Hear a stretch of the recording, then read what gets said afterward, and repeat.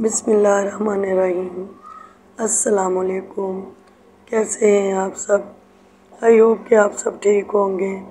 और अल्लाह ताला के फजल करम से मैं भी बिल्कुल ठीक ठाक हूँ। आज मेरी बेटी की रुखसती है तो वो दुल्हन बन रही है।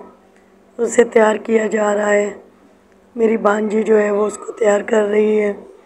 और बाकी भी सब जो मेरी भांजियाँ, भतीजियाँ जो भी कज़न्स हैं, वो सब इसी रूम में तैयार हो रहे हैं।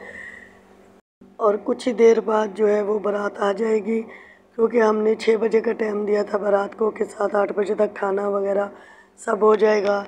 क्योंकि कराची में तो इतनी गर्मी है अभी, मुल्तान में जो है, वो थोड़ा ठंड हो गई है रात को।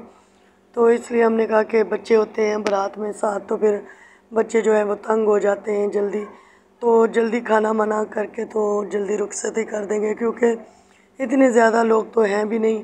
और यहाँ पे आदिल को देखे मैंने पहले ही तैयार कर दिया था। आदिल आज तो अपनी मम्मा के साथ नहीं जाएगा, ना मुजम्मिल जाएगा, ना आदिल जाएगा, क्योंकि जब तक मैं मुल्तान में हूँ तो बच्चों को मैं अपने पास ही रखूँगी।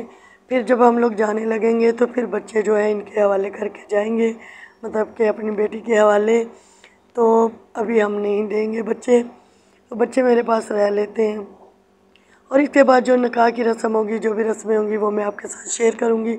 तो मेरे साथ जुड़े रहिए। अल्लाह हाफिज़।